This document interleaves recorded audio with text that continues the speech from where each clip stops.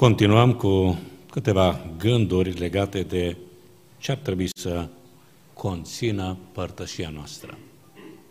Faptul că am venit la biserică e bine, dar nu e suficient și nu putem în baza prezenței noastre fizice astăzi aici să afirmăm că avem părtășie cu Dumnezeu. Adică se poate să fii în biserică și să n-ai părtășie reală cu Domnul. Faptul că te împărtășești cu trupul și sângele Domnului, faptul că iei din cină, nu garantează sau nu este un semn clar. Se poate să iei din cina Domnului și să n-ai părtășie reală cu Dumnezeu. Faptul că te-ai rugat, ai cântat, ai dăruit, nu garantează, nu înseamnă că neapărat ai avut părtășie. Se poate să cânți, se poate să te rogi, se poate să dăruiești, dar să nu ai părtășie reală, adevărată cu Dumnezeu. Se poate. De aceea trebuie să ne întrebăm astăzi cum ar trebui să-mi verific, cum ar, aș putea astăzi să mă cercetez dacă am părtășie reală cu Dumnezeu. Uh, eu numesc simplu diagnoza părtășiei. Să-ți faci singur o cercetare, o diagnoză. Și ca să o facem, o să citesc doar câteva versete din 1 Ioan, capitolul 1, de la versetul 3 în jos, și apoi o să mergem și în Geneza, să vedem doi oameni care s-au închinat. Amândoi s-au închinat, amândoi au adus jertfe, unul a avut părtășie reală cu Dumnezeu, unul doar a mimat părtășia, a avut pretenția că a avut părtășie cu Dumnezeu, dar inima lui a fost departe. 1 Ioan, capitolul 1, de la versetul 3. De ce am văzut și am auzit, aceea vă vestim și vouă, ca și voi să aveți părtășie cu noi. Și părtășia noastră este cu Tatăl și cu Fiul Său, Isus Hristos.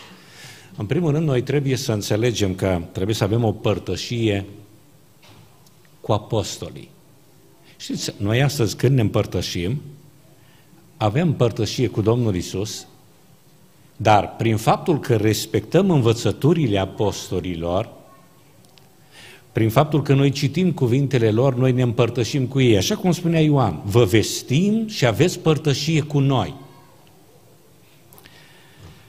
Vedeți, marea problemă a bisericilor istorice este că pretind că sunt apostolici sau că se trag din apostoli, dar citind Biblia, observ că niciun apostol, niciun apostol nu a făcut vreo icoană, nu a sărutat vreo icoană, nu a adus nicio închinare Mariei, nu a adus nicio închinare vreunui înger, niciunul n-a avut pretenția că este sfânt și să-i se atribuie cumva vreun merit și vreo închinare, absolut deloc.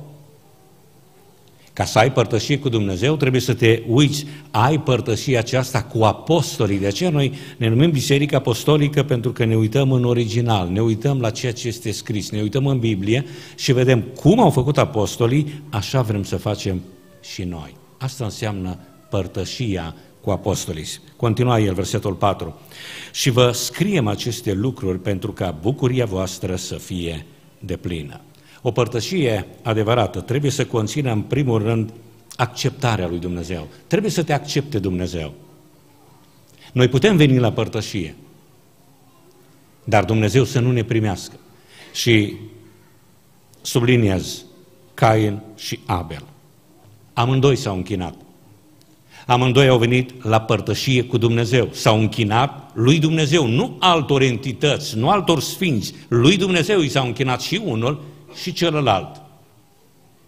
Marea diferență însă a fost, Biblia ne spune, Dumnezeu a privit cu plăcere spre Abel și spre jertfa lui, dar Dumnezeu n-a privit cu plăcere spre Cain și spre jertfa lui. Cu alte cuvinte, Abel a fost acceptat de Dumnezeu și Cain nu a fost acceptat de Dumnezeu. Prima condiție pentru ca o părtășie să fie reală, adevărată, este să te primească Dumnezeu. Asigură-te că în această zi te primește Dumnezeu la părtășie cu El. Nu te mulțumi cu o religie, nu te mulțumi cu niște forme de manifestare a acestei religii, cu niște ritualuri. Întreabă-te dacă astăzi Dumnezeu cu adevărat este în inima ta, este în viața ta, tu ai părtășia aceea, te-a primit Dumnezeu, te-a iertat Dumnezeu. Tu o poți face tu te poți uita și să vezi, ai părtășia reală, adevărată cu Dumnezeu. Te-a acceptat, te-a primit Dumnezeu? În al doilea rând, o părtășie adevărată trebuie să conțină bucurie. Cain, pentru că n-a fost acceptat, el a înțeles asta. Cei care nu sunt acceptați de Dumnezeu înțeleg. Degeaba zâmbesc ei, degeaba uh, pacea Domnului, frate, și uh, pot să strige și în gura mare că laudă pe Domnul, dar în inima lor ei simt fiecare om simte în inima lui, în interiorul lui, în lăuntrul lui, simte dacă este acceptat sau nu este acceptat. Oricât ai vrea să mimezi față de alții, poți mima, dar față de Dumnezeu nu și față de propria conștiință nu poți mima părtășia cu Dumnezeu. Ori o ai, ori nu ai. Și Cain a înțeles asta. Și unde s-a citit asta? Pe fața lui. I s-a posomorât fața nu-i mai place de Dumnezeu, nu-i bun Dumnezeu, nu-i drept Dumnezeu, ă, nu-i bun de ce pe Abel da și pe mine nu, eu sunt primul, eu sunt mai mare, eu sunt mai nu știu cum, eu am adus jertfa asta, el a adus cealaltă, nu știu care ar fi fost explicațiile lui. Însă cert este, Cain era posomorât, s-a mâniat. Ați văzut oameni mânioși care vin la casa Domnului mânioși? Ați văzut oameni care în timp ce se cântă ei pufnesc de nu mai pot? I-ați văzut? Ați văzut oameni supărați la rugăciune, la cântare, la predică, la închinare și se duc acasă supărați. Ei bine, puneți întrebarea, un astfel de om a avut părtășie reală cu Dumnezeu? Ai părtășie reală cu Dumnezeu dacă nu te bucuri? Pentru că bucuria trebuie să fie acolo, o părtășie adevărată trebuie să conțină bucurie. Dacă n-ai bucurie, și spunea aici Ioan, și vă scriem aceste lucruri pentru ca bucuria voastră să fie deplină, adică să fie maximă, totală. Nu doar ne bucurăm puțin și apoi altă cântare, gata, nu ne mai bucurăm, uh, ne bucurăm puțin, să te bucuri de plin, să te bucuri că ești iertat, să te bucuri că ești mântuit, să te bucuri că Dumnezeu te primește, să te bucuri pentru că astăzi tu ești aici în primul rând în prezența lui Dumnezeu și te bucuri de prezența lui Dumnezeu. Apoi celelalte mofturi, pretenții și tot felul de scuze, justificări sunt de fapt expresii ale faptului că nu realizezi adevărata părtășie cu Dumnezeu. Cine are o adevărată părtășie cu Dumnezeu, în primul rând este acceptat de Dumnezeu și simte asta. M-a primit Dumnezeu. Am stat de vorbă cu Dumnezeu. Am bucurie, bucurie că Dumnezeu m-a primit și m-a acceptat. Apoi am pace, pace în inima. Și continui, versetul 5, vestea pe care am auzit-o de la El și pe care vă propovădim este că Dumnezeu e lumină și în El nu este întuneric. Dacă zicem că avem părtășie cu El, dacă zicem că avem părtășie cu El și umblăm în întuneric, mințim și nu trăim adevărul. Dacă umblăm în întuneric, și continua El, dar dacă umblăm în lumină, după cum El însuși este în lumină, avem părtășie unii cu alții. Aici este marea problema noastră, că Dumnezeu îți spune foarte clar, nu e o chestiune doar între tine și Dumnezeu. Dumnezeu spune, mă iubești? Da. Dacă mă iubești pe mine, iubește și pe ceilalți. O, Doamne, dar nu merită, sunt așa de răi, sunt așa de păcătoși, atât de antipatici. Nu poți spune că îl iubești pe Dumnezeu dacă îl urăști pe aproapele tău. Nu poți spune că ai părtășie cu Dumnezeu dacă nu iubești părtășia cu biserica. Dacă nu simți nimic, dacă nu ai nimic, nu ai nicio părtășie, așa zicea el, dacă umblăm în lumină, după cum el însuși este în lumină, avem părtășie unii cu alții, avem părtășie unii cu alții. Avem părtășie cu Dumnezeu și părtășia cu Dumnezeu se răsfrânge și pe orizontală. Avem părtășie unii cu alții. Al patrulea rând, o părtășie adevărată trebuie să conțină smerenie. Că de aceea nu ne putem iubi, de aceea nu putem ierta, de aceea nu-i putem accepta, pentru că noi ne credem mai buni. Cain spunea, eu sunt primul om născut, eu sunt cel din tâi, eu sunt cel mai mare, eu sunt cel mai, eu sunt cel mai. Și el nu accepta ideea că Dumnezeu poate primi pe altul mai mic.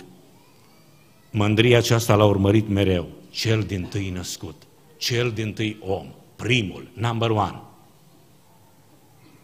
Și cu mândria asta, a pierdut părtășia cu Dumnezeu.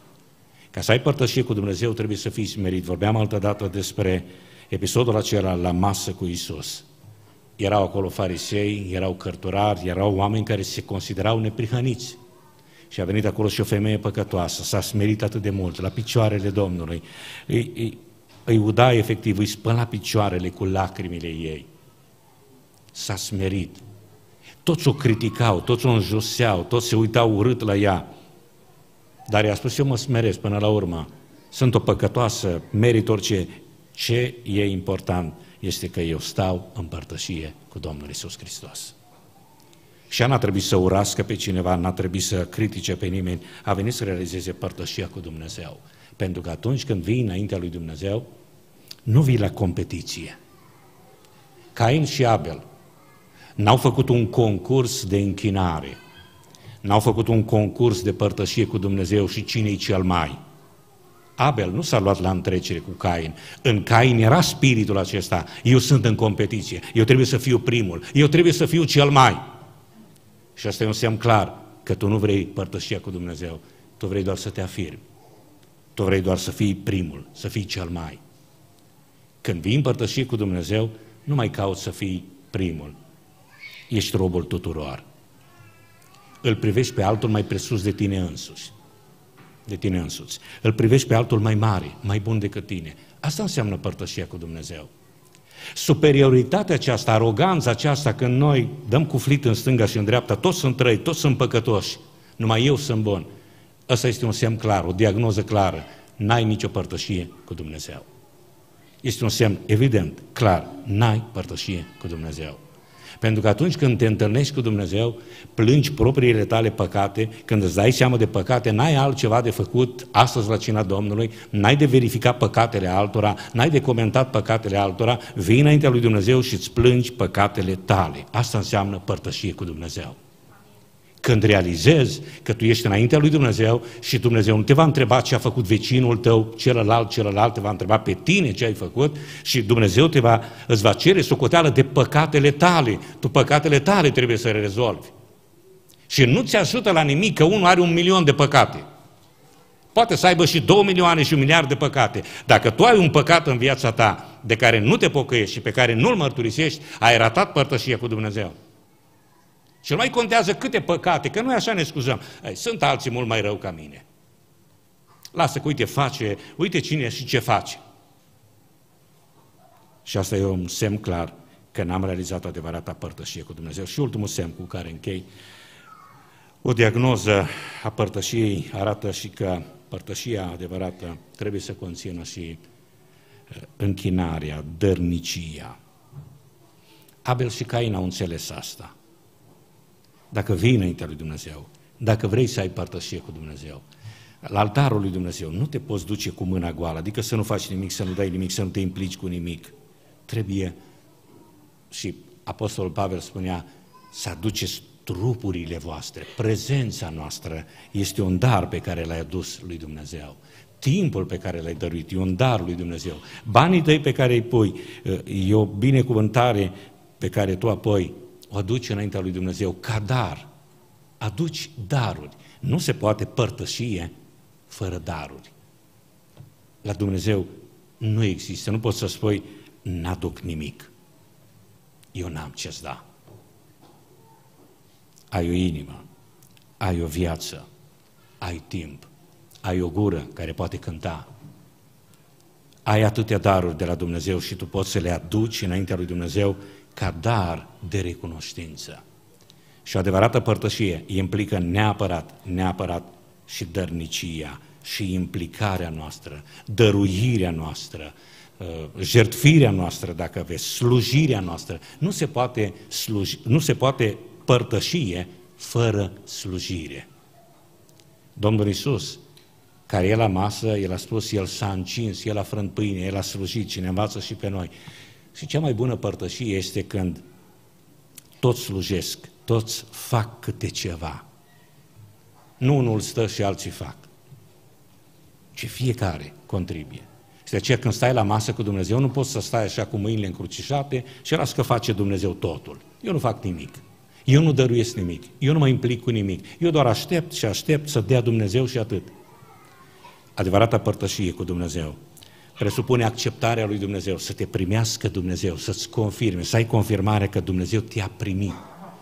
Spunea psalmistul la un moment dat, ferice de cel pe care îl alegi tu ca să locuiască în curțile tale. Ferice. Pentru că nu oricine este acceptat. Nu oricum ești acceptat. Ci numai dacă vii cu smerenie, cu umilință. Apoi o părtășie adevărată trebuie să conțină bucurie. Dacă te întâlnești cu Dumnezeu, când îți întorci privirile spre El, te luminezi de bucurie. O adevărată părtășie conține pace. Trăiești în părtășie unii cu alții, în pace unii cu alții. În smerenie. Nu te vezi cel mai bun. Te vezi cel mai păcătos. Pavel spunea, adevărat este cuvântul acesta și vred de primit. Hristos Iisus a venit în lume să moară pentru cei păcătoși, dintre care cel din tâi sunt eu, adică cel mai mare păcătos sunt eu. Apostol Pavel spune asta. Tu ce spui? O, oh, câți păcătoși sunt mai păcătoși ca mine. Numai aici pe lângă mine câți văd. Și ai pierdut smerenia. Și când ai pierdut smerenia, ai pierdut părtășia cu Dumnezeu. Și te minți, pentru că spune acolo, mințim, nu trăim adevărul, pentru că adevărata părtășie cu Dumnezeu conține smerenie și apoi dăruire, dărnicie, slujire, jertfire. Dumnezeu să ne binecuvinteze astăzi, fiecare să se cerceteze, fiecare să se întrebe, să-și facă diagnoza părtășiei cu Dumnezeu, să vadă, îi lipsește ceva? Am avut eu astăzi parte de o închinare plăcută lui Dumnezeu, m-a primit, îi place lui Dumnezeu cum sunt, m-a acceptat Dumnezeu, m-a primit Dumnezeu sau trebuie încă să mai pocăiesc, să mai schimb lucruri în viața mea. Dumnezeu să ne binecuvânteze.